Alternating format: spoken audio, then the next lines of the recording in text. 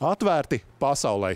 Tālāk vēstas auklis virs Rīgas Stradiņa universitātes durvīm. Šeit mācās ļoti daudz studentu no trešajām pasaules valstīm, bet mūsu saimnes deputāti tikmēr satraukšies, ka varbūt mūsu augstskolas ir kļuvušas pat pārāk atvērtas viesstudentiem. Saimas pilsonības, migrācijas un sabiedrības saliedētības komisija šodien vērtēja, vai ārzemju studentu piesaistes aizsargā nenotiek slēpta migrācija.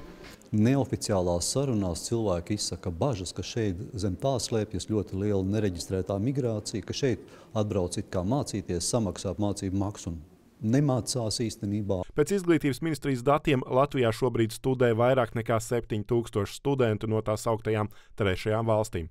Visvairāk no Indijas seko Uzbekistāna, Ukraina un Šrilanka. Ir arī ap 500 studentu no Krievijas, kas studijas Latvijā sāka vēl pirms kara Ukrainā. Jauni studenti no agresoru valsts šobrīd netiek uzņemti.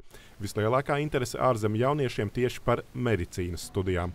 Augstskolu pārstāvi sēdē deputātiem apgalvoja, šie studenti patiešām ieradušies, lai gūtu zināšanas, nevis piestrādātu. Rīgas Straņu universitātē tas nav nekādā gadījumā iespējams. Jo pirmkārt, studijas ir dārgas. Līdz ar to tas būtu dīvaini, kāpēc maksāt studiju maksu un iet strādāt. Aptuveni 80% no visas studiju satura ir klātienē. Līdz ar to nu, tur nepaliek laika, lai strādātu. Ja kāds tomēr studijas pametis novārtā, par to tiek informēti attiecīgie dienesti. Ja par nelaimi viņš kļūt, kļūst nesekmīgs un tiek eksmatrikulēts, tad dažu dienu laikā mēs in, informējam pilsonības un migrācijas dienestu par to, ka šis students ir atskaitīts. Līdzīgus argumentus deputātiem sniedza arī Rīgas Tehniskās Universitātes un biznesa augstskolas turību pārstāvji. Mācību iestāžu teikto apstiprina arī Pilsonības un migrācijas lietu pārvalde. Šī paziņošana notiek mūsuprāt ļoti, ļoti saulēcīgi.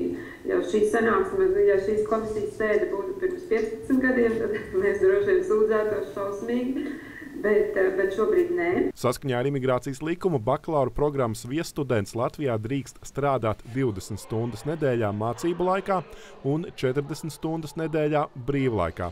Pilsonības un migrācijas lietu pārvalde vairāk kārt esot pieķērusi studentus, kas šo normu pārsnieguši, bet šādi gadījumi esot reti. Girts Zvirbulis, Ingus Graudiņš, Latvijas televīzija.